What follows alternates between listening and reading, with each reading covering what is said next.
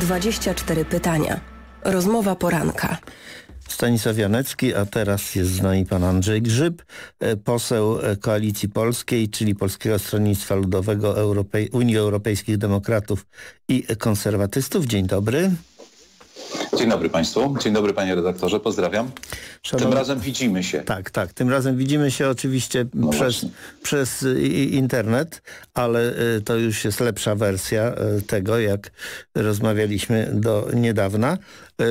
Zatem, szanowny panie pośle, od 20 marca do 9 kwietnia ogólnopolski e, e, lockdown. E, czy można było tego uniknąć pana zdaniem albo po prostu nie wprowadzać tego lockdownu, o czym nas od dawna przekonują i namawiają posłowie Konfederacji? Um to, że będzie kolejna e, odsłona epidemii, to od dawna mówiono, że taki może być, e, że taki może być scenariusz. Zresztą we wszystkich epidemicznych akurat chorobach mamy do czynienia z taką fluktuacją. Tym bardziej, że e, w tym okresie pomiędzy pierwszym a, a obecnym trzecim okresem no niestety nie mieliśmy, nie mieliśmy możliwości przede wszystkim ani wyprodukować skutecznego leku, ani też skutecznie zaszczepić wszystkich osób, które, które mogłyby się w ten sposób chronić y, przed, y, przed chorobą. Jedynie przechorowanie dawało y, jakąś odporność. I to, I to jest główny powód, dla którego nie można było przewidzieć też jaki ten scenariusz będzie. Tym bardziej, że... Bo to nie jest kwestia są... polska tylko, wszyscy mają z tym problem. Tak, tak, to jest, to jest no, wirus jest niestety organizmem żywym, on y, ma tę skłonność do zmian, do mutacji. Y, to jest y, też takie, bym powiedział, ewolucyjne prawo, no bo mm, każdy organizm broni się przed tym, żeby nie zostać wyparty ze środowiska. Więc y, te mutacje sprawiają, że on jest bardziej ekspansywny. Y, mówi się o różnych jego szczepach, które które zostały stwierdzone w wyniku badań genetycznych. No i okazuje się, że ten wirus brytyjski dotarł do nas. No, oczywiście są takie opinie mówiące, że powinniśmy, kiedy tylko była informacja o tym, że on jest bardziej ekspansywny, że szybciej zakaża. Że już że wtedy mogliśmy... pozamykać? Nie, nie, że, że wtedy można było może skuteczniej testować tych, którzy przyjeżdżają z Wielkiej Brytanii, ale tak jak wiemy, nie da się zamknąć y, akurat epidemii w granicach. Ona prędzej czy później przenika. No, to jest po prostu prawo wynikające z, wynikające z faktu, że to są organizmy żywe, tak? a my też jesteśmy osobami, które popełniają błędy, bo gdybyśmy nie popełniali tych błędów, to pewnie walka z epidemią byłaby zdecydowanie łatwiejsza. To przejdźmy do takiej właściwej polityki, y, panie pośle. Czy to Koalicja Polska, czy Polskie Stronnictwo Ludowe wpadło na pomysł wystawienia profesora Sławomira Patyry, prawnika z Uniwersytetu Marii y, Curie Skłodowskiej y, w Lublinie, jako kandydata na Rzecznika Praw Obywatelskich?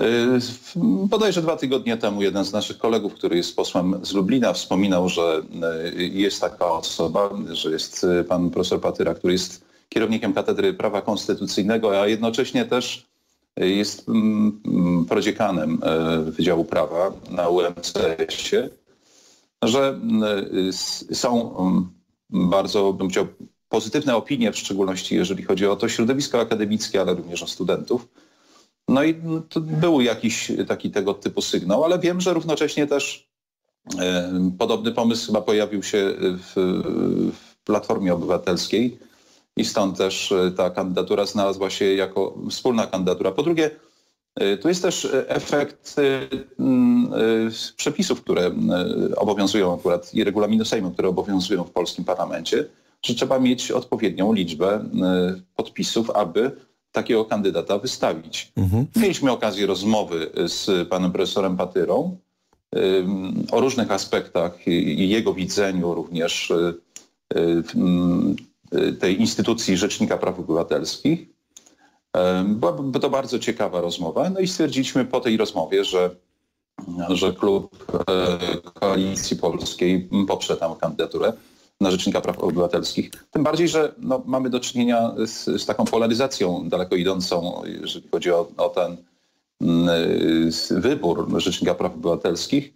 i stąd też zawsze jest w takiej polaryzacji łatwiej popierać swojego własnego kandydata, z którym miało się okazję rozmawiać o różnych aspektach, które dotyczą akurat funkcjonowania tej instytucji. I to jest też zgodne z tym, co my mówiliśmy, że przy tym sporze należy poszukiwać e, kandydata wśród e, przedstawicieli Wydziałów e, Prawa. No właśnie, tu... Konsekwentnie staramy się takich kandydatów wspierać. Co do merytorycznych kwalifikacji pana profesora Patyra, to wątpliwości nie ma, ale podobnie dobre opinie o kwalifikacjach prawnych, wprawdzie nie doktora habilitowanego, a, a doktora Bartłomieja Wróblewskiego, kandydata Prawa i Sprawiedliwości, także są. Dlaczego nie Y, Bartłomiej Wróblewski, który nawet tematycznie zajmuje się podobną problematyką prawną jak profesor Sławomir Patyra.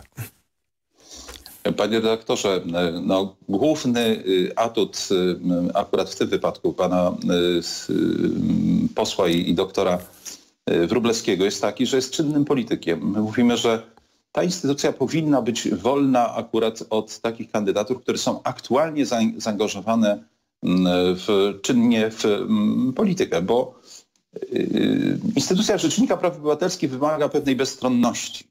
Bezstronności. Oczywiście y, każdy z kandydatów pewnie y, nie rezygnuje ze swoich poglądów osobistych, natomiast ta bezstronność, a w szczególności bezstronność polityczna i również reprezentowanie interesów tych, dla których został ten, ta instytucja została powołana, a więc obywateli, powinna cechować się takim akurat atutem. Zawsze, y, nawet gdyby ten kandydat, y, mówię o panu doktorze Wróblewskim, starał się jak najbardziej być tutaj y, fair i starać się, by, starałby się być bezstronnym, to jednak zawsze będzie ten, ten pierworodny, że tak powiem, grzech czynnego polityka, który przychodzi akurat na tę instytucję, będzie chce mu wypominany. Chce pan powiedzieć, panie pośle, względu... że polityka jest brzydka i brudna i nie, że polityk nie, nie, to nie, może być... Panie, panie redaktorze, oczywiście zdajemy sobie sprawę, że, że w polityce zdarzają się e, problemy i częstokroć społecznie i również ten problem jest omawiany. Natomiast, natomiast e, tutaj bardziej chodzi o to, czy e, ta bezstronność będzie zachowana wtedy, kiedy dojdzie do sporu pomiędzy obywatelem a aktualnym układem politycznym, który rządzi w danym kraju. I to jest tylko ten problem. Ja nie mam żadnego Y, powodu akurat wątpić w merytoryczne y, kompetencje pana doktora Wróblewskiego. Znam go, jest wielkopolaninem. Nawet bym powiedział, y, z tego względu byłoby mi sympatycznie tutaj głosować za taką kandydaturą, ale z drugiej strony, tak jak powiedziałem, jest czynnym politykiem i to sprawia, że no, nie jestem przekonany, że to byłby dobry wybór akurat w dniu dzisiejszym. Być może za pięć lat czy za, kiedy pojawi się nowe rozwiązanie, no to wtedy wtedy być może jego kandydatura będzie interesująca. Będę to następny kandydat, panie pośle, Konrad Fiołek, jako kandydat na prezydenta e, e, Rzeszowa. Powstała taka wielka koalicja, bo i Koalicja Polska, i Koalicja Obywatelska, i Polska 2050, i Lewica e, poparły tę kandydaturę. Czy to jest, powodem tego jest to, że pan Konrad Fiołek daje się poznać z dość charakterystycznego stanowiska do rządzących. Nie będę cytował tego jego entuzjastycznego, yy, dwukrotnie powtórzonego yy, słowa na J i na cisie kończącego i Kaczystan. Czy to jest kandydat, jeśli on takie deklaracje składa, to on ma dobre kwalifikacje, y, bo tu pewnej powściągliwości czy umiaru jakby brakowało w takich deklaracjach. Ja nigdy nie jestem zwolennikiem takiego, bym chciał, ostrego języka w polityce. Uważam, że zawsze trzeba pozostawiać otwarte drzwi. Y, obrażanie konkurencję polityczną czy Y, partnerów czy przedstawicieli innych partii politycznych, no nie jest dobrym rozwiązaniem. No pan no, absolutnie nie znałem, nie, jest nieznany z tej strony, bo jest człowiekiem nie wyjątkowo kulturalnym. z tej strony. Y, y, nie znałem akurat tej wypowiedzi pana Fiołka. Natomiast to, co Tego było więcej trochę niestety. To, co było przede wszystkim chyba motywacją dla takiej decyzji, to jest fakt, że on reprezentuje akurat miejscowe środowisko, czyli środowisko rzeszowskie. Tam po takiej Tam prawie wszyscy reprezentują środowisko no, ale były różne pomysły. Proszę zauważyć, że pojawiały się nazwiska również czynnych polityków. No spadochroniarzy, ale to zawsze. Poncyliusza, no akurat Paweł Kowal... Jest związany z regionem. Jest związany z, z regionem. My również rozważaliśmy kandydaturę, która nawet została publicznie zgłoszona, ale wie pan, w tych sytuacjach, kiedy kiedy ocenia się szanse po wstępnych badaniach, jakie są, są szanse na rozwiązanie, to efekt był taki, że postanowiono, aby tym kandydatem był kandydat wspólny, który reprezentuje też samorząd Rzeszowa. Mhm. Natomiast, a, a, nie rozmawialiście jest... o tym, że y, w Rzeszowie, no, Rzeszów jest trochę specyficzny, ale Podkarpacie, e, no to jest taki region, gdzie e, poglądy konserwatywne są dość mocno obecne. Jak ktoś takie deklaracje składa, jak pan Konrad Fiołek, to, to co? To część mieszkańców będzie przez niego dyskryminowana, bo mają niesłuszne kaczystowskie poglądy? To znaczy akurat ta sprawa nie by, tej kandydatury nie była w jakiś sposób szczególny, że tak powiem, omawiana w naszym gremium, w szczególności e, mówię w klubie parlamentarnym, ponieważ e, to jest dosyć odległa rzecz i, i raczej decyzja należała do tych naszych kolegów, którzy są i pracują, są przedstawicielami PSL w Rzeszowie i pracują w Rzeszowie i w, w województwie podkarpackim. Natomiast y, jednym z argumentów na rzecz akurat y, tej kandydatury było to, że współpracował z panem prezydentem y, Ferencem. A pan prezydent Ferenc pana profesora Marcina Warchoła wskazał z Solidarnej Polski. Który, który był prezydentem, który umiał budować pewien konsensus wokół spraw Rzeszowa i był mimo że pochodził z zupełnie innego politycznego układu, też umiał e, budować te relacje. No to prawda, ale z, nie jest dla pana zagadką, że, rządzącą. że pan prezydent Ferenc, który jest instytucją e, w Rzeszowie, nie wskazał akurat pana Fiołka, tylko pana profesora Warchoła? Panie, panie redaktorze, nie wiem, jakie są motywacje pana prezydenta Ferenca. Być może to jest jakiś element wdzięczności E, za e, wspomaganie w jego różnych staraniach o inwestycje czy o inne rozwiązania, które były ważne dla Rzeszowa. Również o pewne inicjatywy, które się tam pojawiały, które bardzo mocno promowały Rzeszów, no, chociażby kwestia e, tej konferencji Polska 590. To jest coś, co niewątpliwie zawsze wymaga wsparcia władz centralnych, więc być może tutaj jakiś element wdzięczności ze strony pana prezydenta Ferenca e, miał miejsce i być może jakieś też padło zobowiązanie w tej sprawie. Tego nie wiemy. Trzeba by pytać pana prezydenta Ferenca, e, co miał na myśli akurat, e, czy, czym się kierował akurat proponując tę kandydaturę. Panie Jak pośle... widać, ona też nie wzbudza entuzjazmu w Zjednoczonej Prawicy, bo jak widzimy pani wojewoda Zresztą y, przez pewien okres czasu Pani Ewa Leniart? Y, pani Ewa Leniart została kandydatem wskazaną przez Prawo i Sprawiedliwość, więc nie wiadomo jak się ta sprawa skończy, czy w ogóle będzie w dalszym ciągu kandydatem. Jaka będzie determinacja akurat Solidarnej Polski? Y, panie pośle, to skoro taka zgoda w Rzeszowie zapanowała, była wspólna konferencja z udziałem liderów tych ugrupowań, które poparły pana Konrada Fiołka, czy w takim razie ta koncepcja, żeby wokół Koalicji Polskiej jako e, ugrupowania chadeckiego, tak to nazwijmy, e, tworzył się jeden blok, ale inny blok tworzyłby się e, w innym miejscu, czy to lewicowym, czy, czy wokół Platformy Obywatelskiej już jest nieaktualna i będzie dążenie do tego, żeby jeden blok powstał na wybory planowane na 2023 rok? Wnioskowanie ze strony pana jest daleko idące, natomiast nic to nie ma wspólnego akurat wybory lokalne, bo takimi są, takimi są wybory prezydenta, wcześniejsze wybory prezydenta Rzeszowa.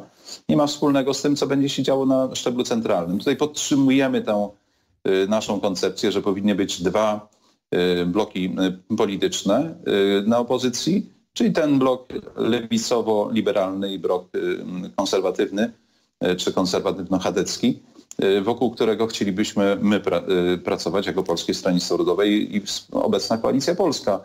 Zdajmy sobie sprawę, że te różnice są tak daleko idące i one zostały udokumentowane również w trakcie, w trakcie wyborów chociażby europejskich, że nie jest możliwe zbudowanie szerokiego bloku i zbudowanie również poparcia społecznego wobec takiego e, bloku, który ma tak szerokie skrzydła i tak zróżnicowane poglądy polityczne, ale w szczególności również w tej kwestii moralno-etycznej, więc e, dlatego podtrzymujemy tą tezę, że wybory w Rzeszowie nie mają nic wspólnego z przyszłymi koalicjami, które będą miały miejsce e, w wyborach do parlamentu, które wydaje się, że powinny się odbyć w roku 2023. Jak to będzie, to zobaczymy.